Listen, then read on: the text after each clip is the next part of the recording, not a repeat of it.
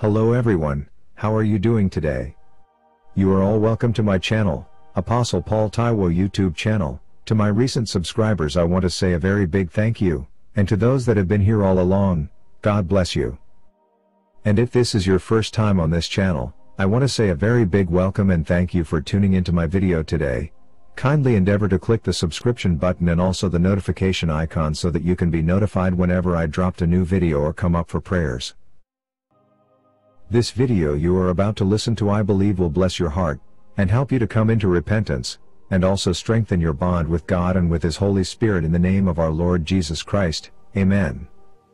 Endeavor to like this video, share it to all your friends, contacts and loved ones, God bless you. These holy churches are linked to the Spirit through the teaching of the truth that the shepherds minister. The brothers spoke the same spiritual language and are united in love, truth, and holiness. The Holy Spirit communicated spiritually with these churches. These churches that live in the direction of the Holy Spirit will never be defeated. I have seen other churches joining these holy churches. The churches that are fallen and are full of demons are living in the lie. Their pastors repented and joined with the holy churches because they believed in the gospel of the truth that the saints preached. A powerful anointing came out of the holy churches and ran toward the other churches that actually joined them. The Holy Spirit distributed its anointing in other ministries that believed the truth. I saw in the vision a people sanctified and united in love. And a cord resembling an electric cord descended into the church and connected the church to the throne of Jesus. This spiritual connection is like an alliance between the groom and the bride. Only the wedding ring can be undone if the bride no longer wants the engagement. I did not see the face of the Holy Spirit, just a bright and full body of light. I believe that its splendor is greater than the sun. And in the vision, that splendor got less bright so I would understand his work and not go blind.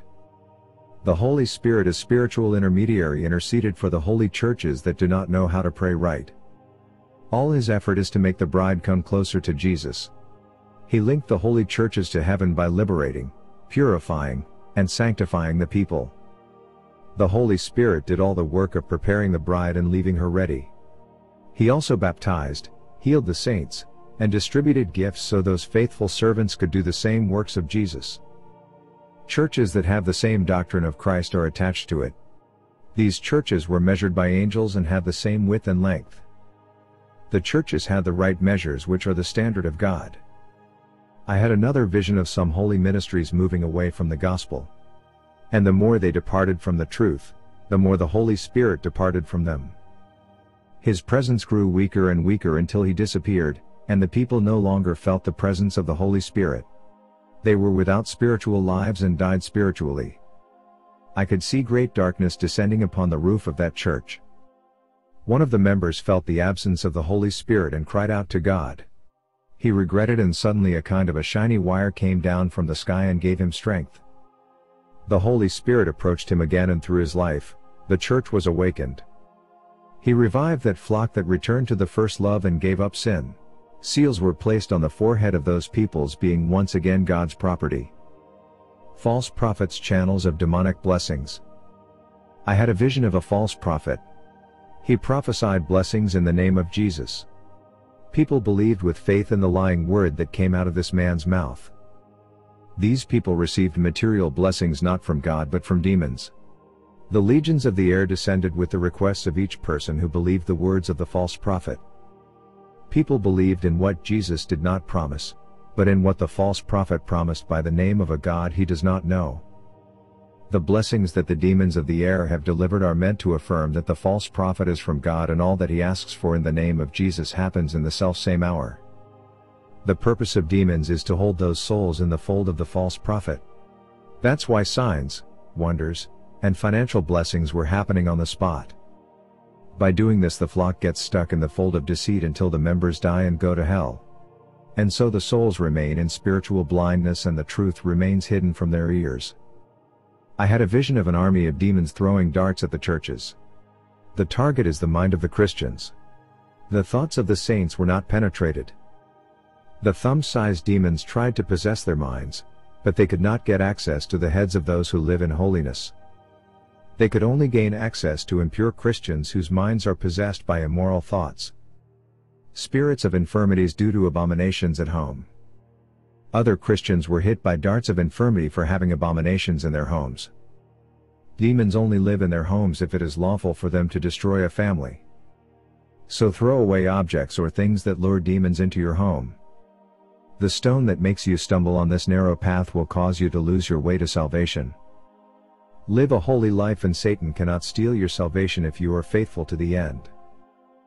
No salvation without church. For those who are not yet congregating in the house of prayer, I mean that there is no salvation without the body of Christ. You will not be saved unless you are in communion with the church. You will not inherit eternal life unless you are united with the other brothers. The Word of God says where two or three of you are gathered together, Jesus will be there. God wants to see the church united and congregating together.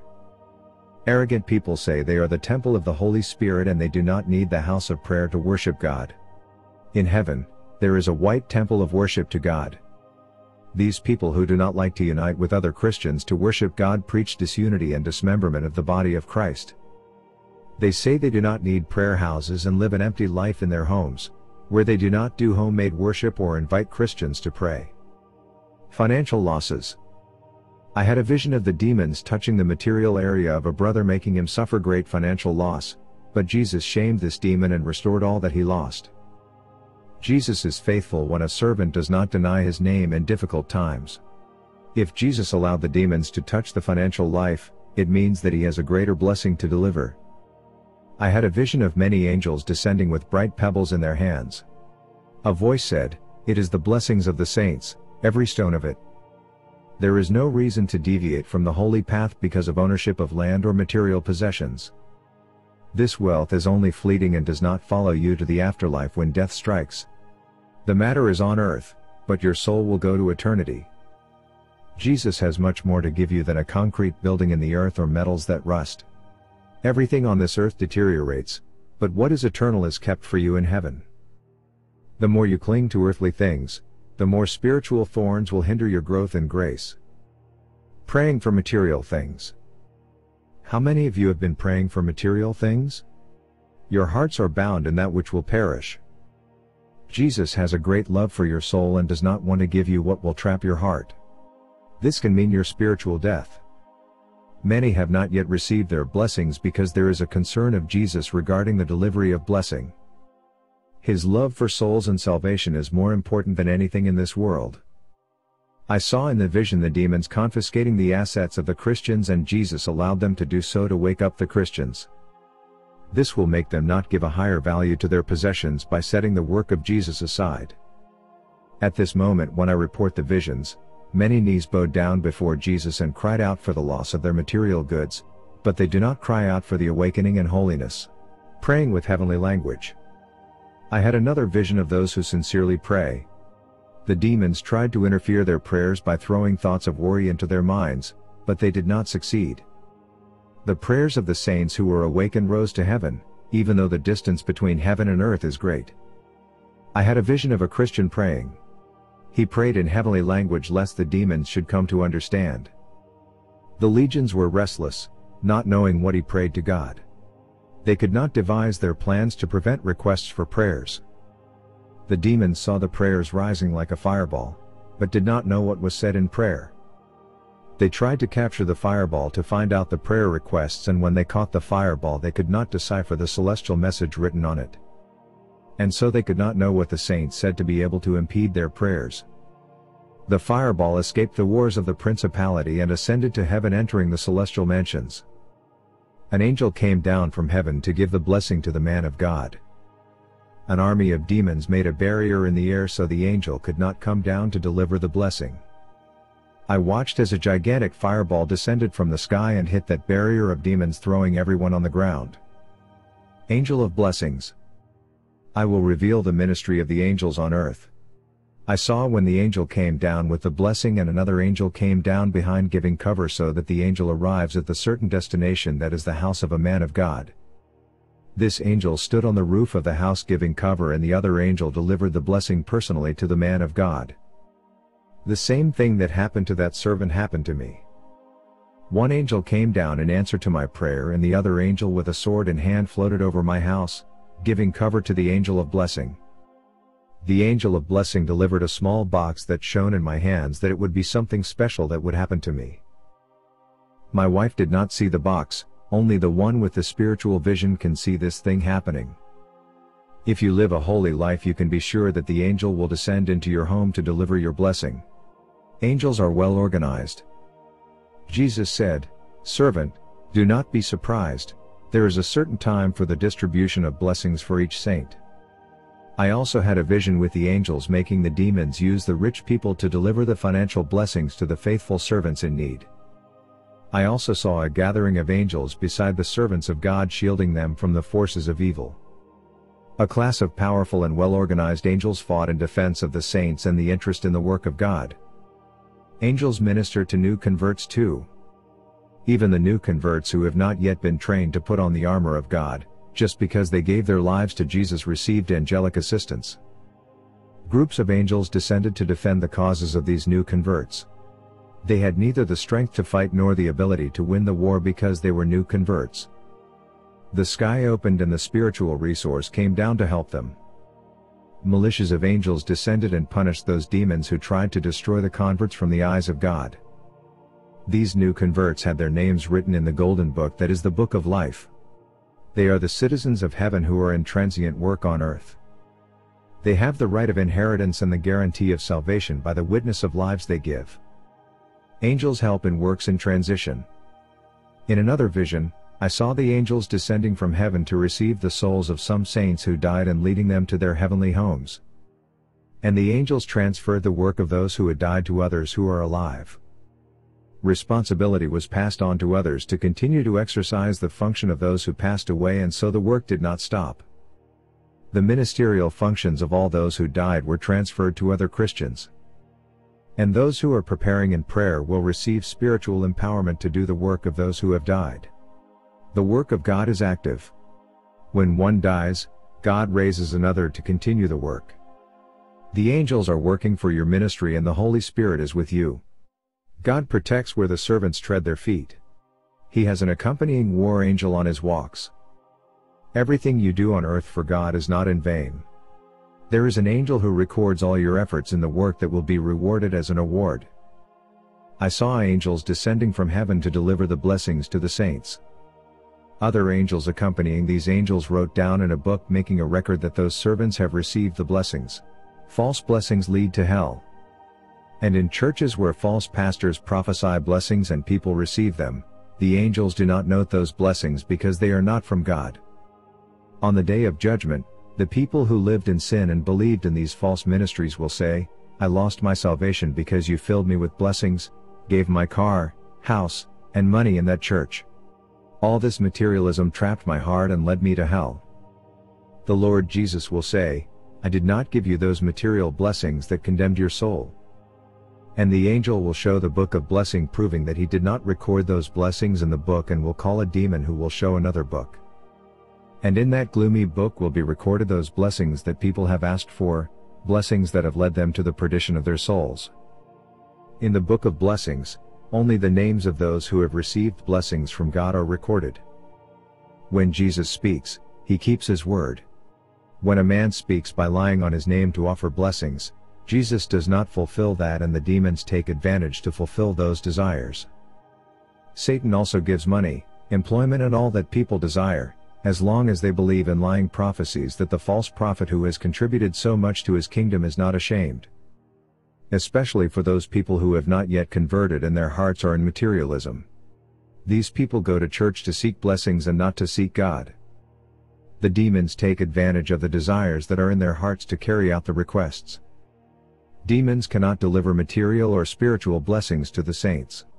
God knows how to identify those that are His. The Holy Spirit does not let the devils give their gifts to the saints.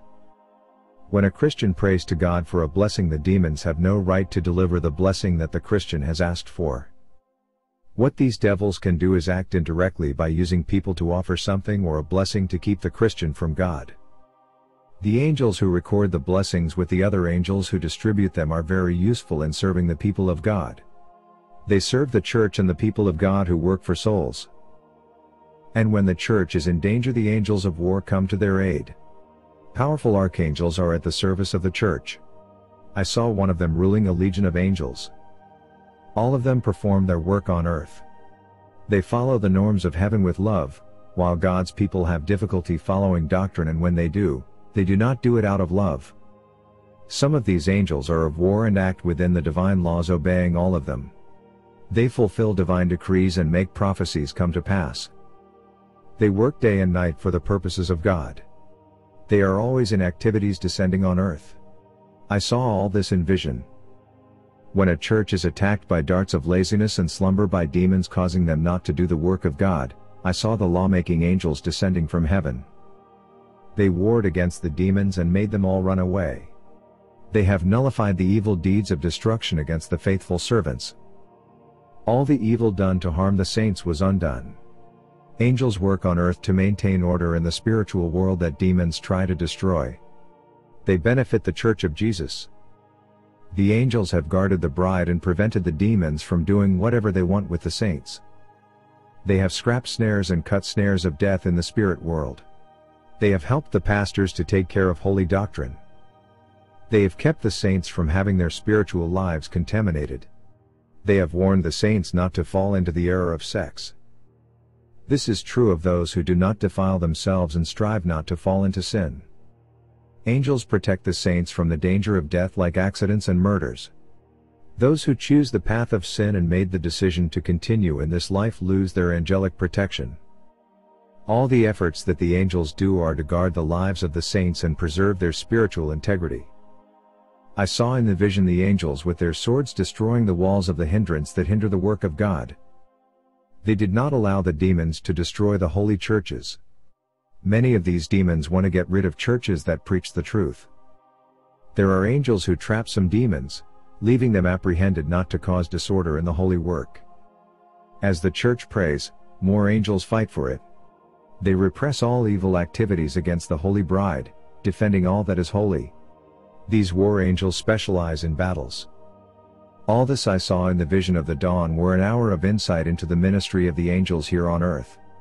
I have also seen the guardian angels of the bride who may be called angels of protection. Each saint is monitored by a protective angel who accompanies him giving protection. They are sensitive to sin equal to the Holy Spirit. Just commit a sin and your protective angel moves away from you and the demons approach you.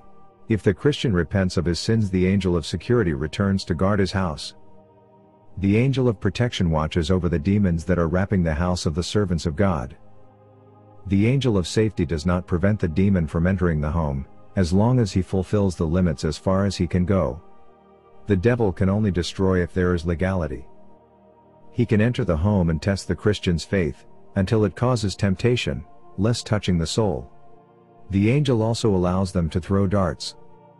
When the Christian is spiritually strong, the angel of safety lets him battle alone against the demons. The protective angel only intervenes if the servant fails to win the war. Even when I pray at night, sometimes devils attack me with their darts, which when they get close to me fall to the ground because of the anointing.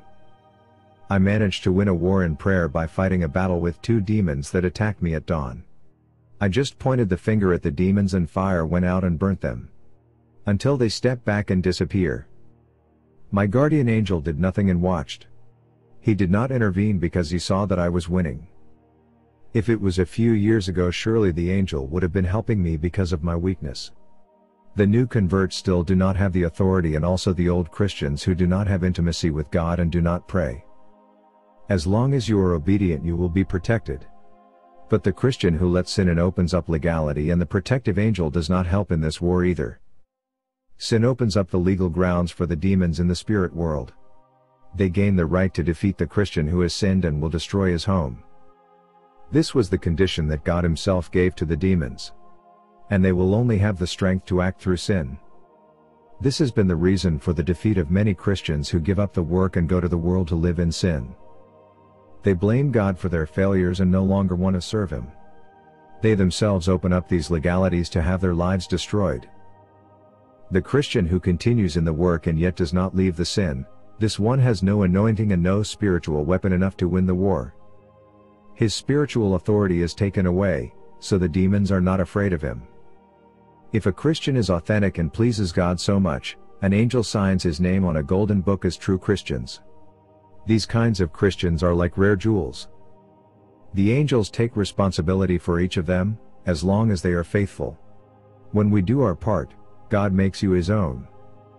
I had a vision of an angel descending on a false church. Within this church was a very serious servant of God who did not participate in sin. Because of her, the angel descended into the nest of Satan.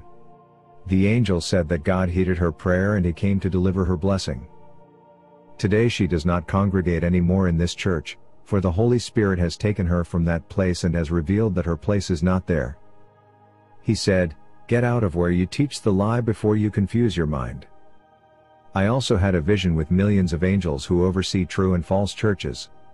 Whatever happened in the house of good or bad prayer, they recorded in their books.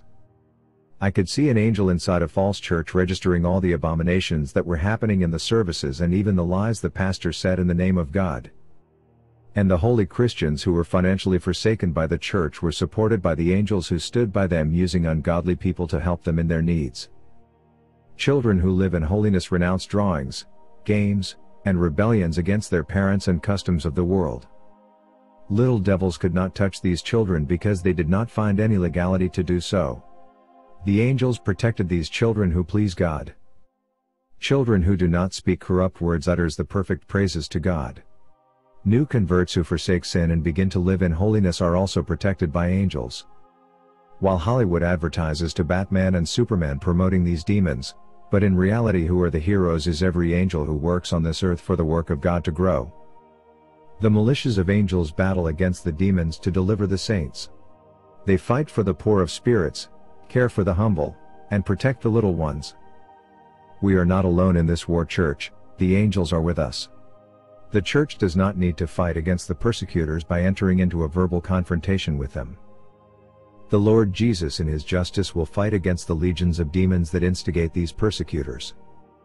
Angels compel demons to use businessmen to employ Christians, even against their will, and demons acquiesce to such angelic demands. Angels fight for the interests of the church, while the church defends the cause of the gospel. That is why the Holy Church is respected as a lawful bride because of her obedience. The purpose of the church is salvation, so live in unity and harmony. Seeing how angels work on earth, it encourages me to want to work harder for God. Angels work for God as servants. Some of you do not want to be a servant and do not want to do the works of God. You do not want to serve God and you are giving orders to God to fulfill your whims, thinking that He has to obey your requests. Learn to be submissive like angels. A worker who joins me asked me why I do not like the internet and appear in the media or channels. I told him that I have divine orders not to make recordings and I have to obey the voice of God, not that it is sin for me to record videos, but I have to obey the voice of God and only report my visions in writing. You who accompany my visions and want to meet me in person, know that I can visit your church at any time by surprise. For you who want me to visit your church, do not be sad if I do not go, for I am only a man and I cannot be in all the churches at the same time. But through these visions that you are hearing it is as if I were there personally, for the same Holy Spirit that is in my life will visit all. I go where the Holy Spirit sends me, it is not through human invitations to satisfy the desires of pastors who want to see their churches full. I do not accept invitations to preach for offerings as well. In the name of Jesus, I give these visions to the church. Only here, God allowed me to report. Stay in the peace of Jesus Church. Amen. This testimony will continue in the next episode. God bless you all.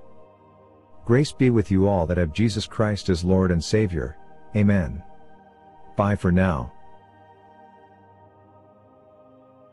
Hello everyone thank you for watching our video for today, I trust it blesses your heart. Endeavor to like this video and share it to your loved ones, I pray the grace of the living God will continue to rest upon you and upon everything that pertains to you in the name of Jesus, Amen. If you have any question or comments kindly drop them in the comment section, God bless you. See you in our next video and have a lovely day, bye for now.